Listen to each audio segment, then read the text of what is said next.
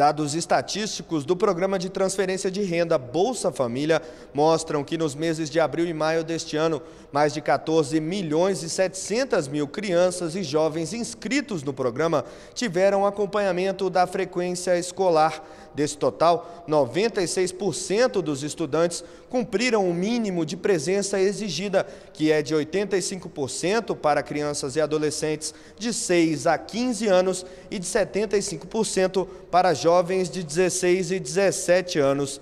Essa é uma das contrapartidas para que as famílias recebam o benefício. De Brasília, João Pedro Neto.